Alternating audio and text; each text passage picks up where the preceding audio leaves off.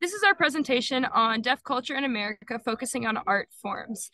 Today, this presentation will be brought to you by Erica, Anna, Dahlia, Anna, Helen, Jacqueline, Kendall, Harper, and Melanie.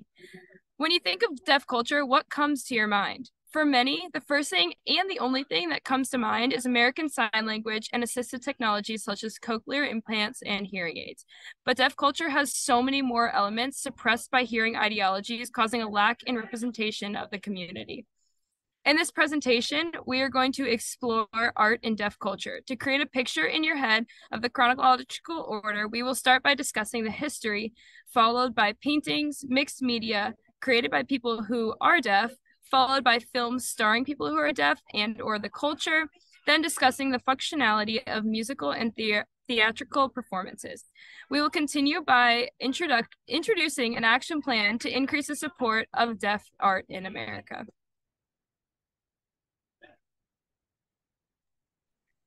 So this is the history of deaf art, uh, the early years to the 1970s. Um, the noted deaf artists of the 18th century were Francisco de Goya, 1746 to 1828, and William Mercer, 1765 to 1839, and he was the first known American deaf artist.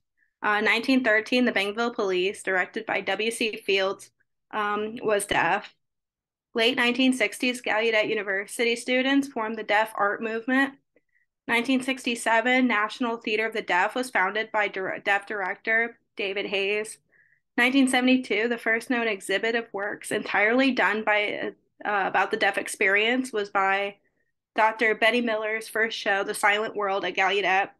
Uh, she painted or did the work for Ameslan Prohibited, and it showed the abusive truth about audism and oralism, which is shown above. Okay, next slide early years uh, to the 19 or the oops, did I oh I messed that up. Okay, 1980s. The 1985 to 1995 Deaf Artists of America ran numerous exhibits of works by art of art by deaf artists and published a newsletter to connect and promote deaf artists around the country. Um, there was a gallery space that was available from 1988 to 1992. The DAA hosted a conference at the National Institute for the Deaf in Rochester, New York. And there was a discussion about art specifically about the deaf experience. And then in um, 1989, there was a Deaf Way Festival. It was a four day workshop or a think tank held at Gallaudet where nine deaf artists gathered and coined the term De'VIA, which is also deaf view uh, slash image art, created the manifesto and a mural that is also shown. Okay. And then 1990 to 2000, 1993, De'VIA exhibit was in North Essex College in Haverhill, Massachusetts. Uh, the De'VIA exhibit and Deaf Studies 4 conference was in Woburn, Massachusetts. Uh, 1998, International Archives of Deaf Artists, well, the website opens and it's available to the public. De'VIA exhibit and Deaf Studies conference in Oakland, California. And then the 1990 to 2000, The Elements of a Culture, Visions by Deaf Artists. It was a touring exhibit that opened. And then the last slide is the 2000s to the current. 2002, Deaf Artists in America, The Colonial to Contemporary by Deborah Sonnenstrahl is published. Uh, July 18th or 8th through the 13th, 2002, Deaf Way in or Deaf Way 2 in Washington, D.C was a deaf artist panel where they could discuss the political climate of the area. 2005 Rochester Institute of Technology's Deaf Artists is available to the public, and that's their website. 2009 Wave 2 of De'VIA emerges. emerges. 2012 Artivism was founded to discuss the political climate. 2014 2014 was the 25th anniversary of De'VIA.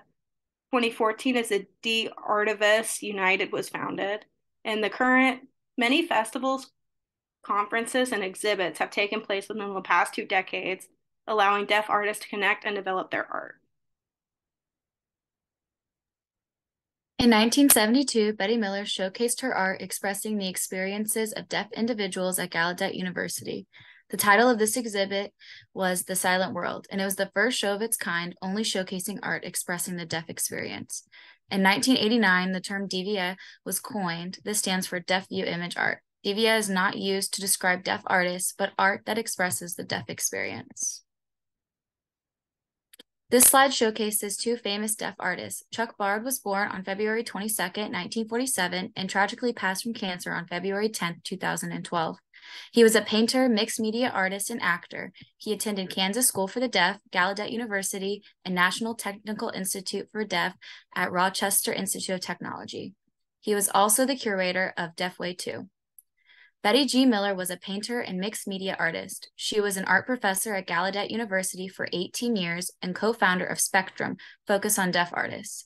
Her father was also a deaf artist named Ralph R. Miller Sr. Both of these artists were influential in, the, in De'VIA art from its beginnings.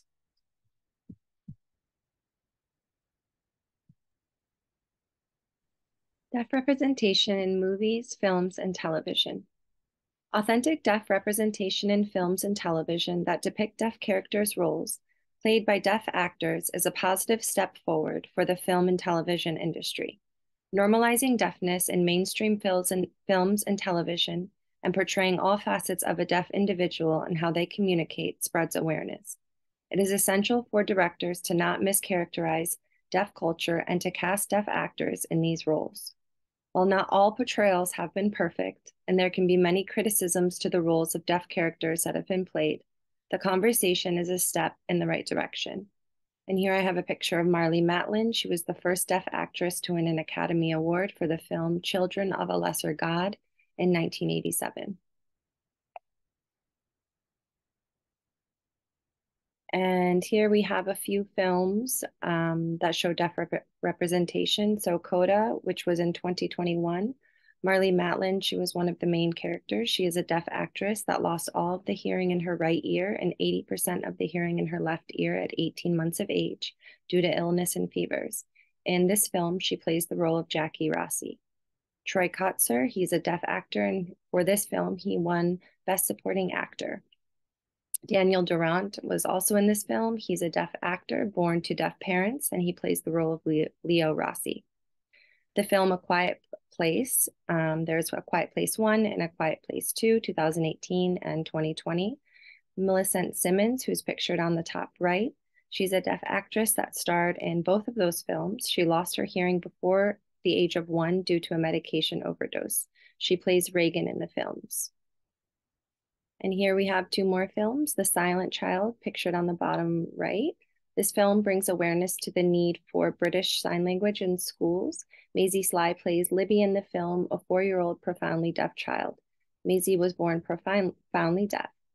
And on the top left, we have Eternals 2021. Lauren Rid- Ridloff played Makari, and this is Marvel's first deaf superhero in this film. For television, we have The Bachelor, Abigail Heringer. She was the first deaf contestant to appear on the show. She wears cochlear implants, and it was important for her to tell her story to show a different experience of being deaf to viewers. This uh, television show on the right, This Close, it's a television series about two deaf best friends navigating Los Angeles in their 20s. 25% of the cast and crew are deaf, as well as the two main characters played by Shoshannah Stern and Josh Feldman.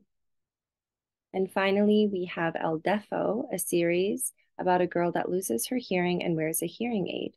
In the show, the sound mimics what would be heard or not heard when deaf or with hearing aids. And a reality show on Netflix called Deaf U. It follows a group of students at Gallaudet University. Deaf musicians. Mandy Harvey is an American jazz and pop singer. Mandy has been a sensation in the music world after her audition in America's Got Talent, where she performed original songs and was given the Golden Buzzer. She became profoundly deaf after an illness called connective tissue disease, also known as Ehlers Danlos syndrome. She sings, composes music, and plays the ukulele. Ludwig van Beethoven is another deaf musician that has lived on through the classical music he composed. Beethoven was a German composer and pianist. His work is now amongst the most performed in the world of classical music. Beethoven began to grow increasingly deaf due to the compression of his eighth cranial nerve during 1812 and 1827. Evelyn Glennie is a Scottish percussionist who has won many awards worldwide for her talent in the world of music. She became profoundly deaf at, at the age of 12, but this did not stop her from performing and chasing her dreams. Evelyn is known for performing barefoot to feel the music through vibrations. Glennie performed at the opening ceremony of the Olympic Games in London 2012 and still performs today. Warren Snipe is a deaf writer, rapper, actor, and performer. Warren Snipe graduated from Gallaudet University in 1994. Warren performed the national anthem at the Super Bowl in 2021. Warren has worked with the National Deaf Dance Company and has completed an album called Deaf, So What? He is active in the deaf community, pushing others to chase their dreams and believe that they are capable of achieving anything they desire. The National Theatre of the Deaf is the oldest theater company that combines productions using both ASL and spoken language. The company was founded in 1967 by Edna S. Levine, and her co founder was Bernard Bragg, uh, who was considered America's first deaf professional performer. NTD has been seen in all 50 states in the US and around the world. NTD has appeared and performed on Broadway, the Disney Channel, on Sesame Street, and at the White House. And they have produced over 6,000 theater productions. The New York Deaf Theater is a nonprofit professional theater company, and it's the longest running company of its kind in the greater New York City area, and the third oldest deaf theater company in America. There are multiple deaf theater companies around the country, but the most well known are the National Theater of the Deaf, Deaf West Theater, and New York Deaf Theater. They all employ professional deaf actors, playwrights, and production crews. The goal uh, of these theater companies is to push the artistic boundaries while focusing on combining both the deaf and hearing world. Many theater companies have worked to raise awareness of the deaf world, educating hearing audience of ASL and deaf culture. Um, Gallaudet University has the world's only accredited liberal arts major for deaf and hard of hearing. Gallaudet Theater gives its students unique opportunities to work, perform, and team with others like themselves, sharing a common common identity and language free of barriers. It helps them to discover their natural skills and talents within a theater context. Next slide. Uh, musicals or plays will sometimes have an ASL interpreter on the side of the stage, but this formula makes uh, the deaf or hard of hearing person having to look at the interpreter, not at the actors on stage. In 2022, the Olney Theater Center for the Arts did a production of The Music Man on their main stage in the format of the songs were performed in English with ASL and English subtitles, and the dialogue was performed in ASL with English subtitles. Deaf West Theater have put on several deaf musicals and have become extremely popular with their revival of Spring Awakening. They use a method some call shadowing by having two actors play one role, one deaf person as the main character and the other a hearing person as the voice. The revival of Spring Awakening had a limited run on Broadway and was able to perform at the 2016 Tony Awards, which was a first for Deaf West Theater. Deaf West Theater most acclaimed performances so far are the musical Big River and Spring Awakening. Deaf theater is a unique art form that continues to achieve great successes. Deaf artists will continue uh, to be successful in the future, and this art form can become very prevalent in both hearing and deaf cultures.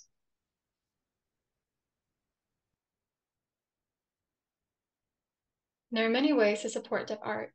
For instance, there are some deaf arts festivals in existence, such as an annual festival held in St. Louis, but it is important to expand these festivals to promote deaf art and ensure the proceeds benefit the artists.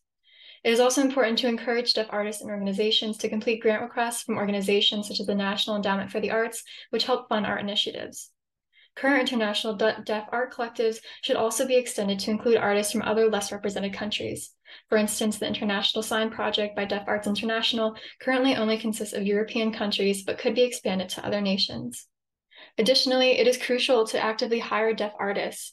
For instance, many universities have an, have an artist in residence program, and it is essential to make these accessible and actively recruit deaf artists for these opportunities. It is also important to create fellowships and writers groups for playwrights, poets, and other creatives so that deaf artists can be, can be supported in their work. Providing close or open, open captioning and translating existing theatrical works into ASL is also a crucial element to make sure that the arts are accessible to everyone. And finally, we should also support the arts in deaf education so that we can cultivate another generation of deaf artists. So nationwide, there are a variety of deaf festivals put together by schools, community centers, museums, and other organizations. The Nelson Atkins Museum um, located in Kansas City, Missouri, is an example of one of these that hosts an annual deaf festival aimed to celebrate and unite deaf art and artists. So some of the events that are included are ASL slam poetry performances, flipbook activities, and storytellers.